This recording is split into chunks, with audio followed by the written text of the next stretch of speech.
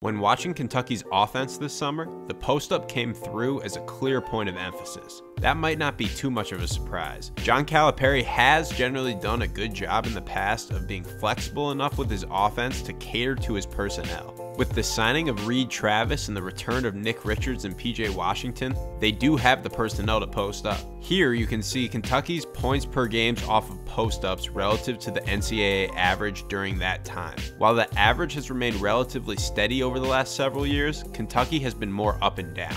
2015 was by far Kentucky's most post-up heavy season. That team had Karl Anthony Towns, Willie Cauley-Stein, Dakari Johnson, and Trey Lyles. This year's team probably won't reach that level, but might wind up approaching it. The post-up, at least as a means to directly generate scoring, has gone out of style in the NBA with the rise of analytics, but it remains as a much more relatively efficient offensive play at the college level. That doesn't mean all post-ups are created equally, and I'll talk about the good and the bad later in the video. One issue with pounding the ball inside and fighting for position is it tends to detract from the modern style of spread offense that is free flowing. Some would disagree with this. Here's a video of Tom Izzo when asked about toughness at Big Ten Media Day. Most guys don't love the physical nature anymore because everybody wants, you know, free flowing and this and that. But in all honesty, that usually, I mean, what did you think of Villanova two of their three years? they were pretty smash mouthy. Now they had guards that could do things, but they are getting after you. They are tough. Sure, Villanova was a tough team, but they were also extremely free flowing on offense. I'm not entirely sure if Izzo is trying to make this point, but it sure seems like he sees toughness and free flowing offense in contrast with each other. I wanted to make this video about how veteran coaches need to move from this idea and let their teams open up the court and shoot more threes, but that's actually not the case. There's little to no correlation between coaching age and the amount of threes their team takes. So let's get back to Kentucky instead and look at how they are generating their post-ups as a function of the offense. This is from a summer practice where they are drilling their most common post-up action. Brad Calipari comes off a pin down from Richards, which then automatically triggers a duck in by Richards for a post-up.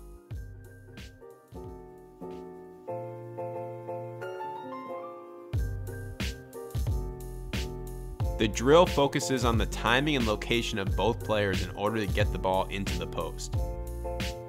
I'll show you this action run in live play in a minute. These are the 25 recorded possessions where Kentucky took a shot out of a post up. This data is probably a little different than what you're thinking. It's not just the shots out of post ups, but also any second chance shots that occurred later in the possession. Kentucky only shot 48%, but still managed 1.24 points per possession by getting offensive rebounds and drawing fouls. The sample size is very small here, and it's something that I'll definitely be tracking during the season. Here you can see the basic action we saw in practice with Herro coming off the pin down and Travis ducking in. The same two guys are involved again, but this time the ball gets entered directly into the post from the top. This entry will be very difficult to make against well-trained defenses. No post entries from the top is a fairly widespread rule for a defensive scheme. The main reason for the pin down duck in is that the big guarding the pin down is tempted to give help to the guard.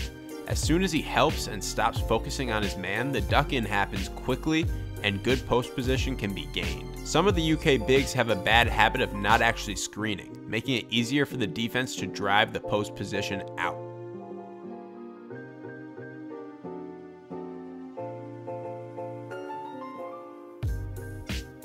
Reid Travis was the Kentucky big to receive the most post-ups. He's an extremely physical guy and theoretically is a great fit for the pin down duck in, but his Kentucky debut was just so-so. Teams often sent two guys at him. Instead of evaluating the floor and looking for an open guy, Travis spun off of the double for some tough hook shots. Herro is the open man here, but Travis misses him. And on this play, the open man is PJ Washington.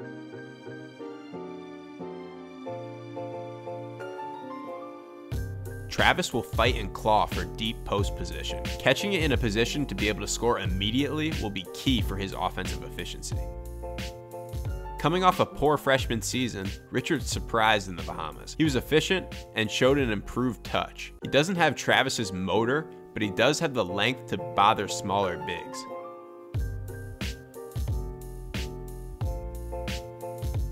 This is really good footwork on the baseline for an easy basket.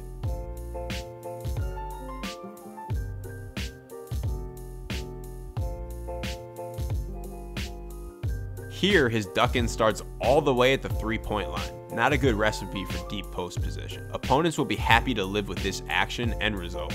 Don't get me wrong, Kentucky's going to be really good this year, pretty much regardless of how often they post up. Even if they don't shoot a particularly high percentage in the post, they can negate that to some extent by offensive rebounding and drawing fouls. But properly defining what a good and bad post touch is, as well as using the post as a way to kick out for shooters and cutters, would take Kentucky's offense to another level of efficiency.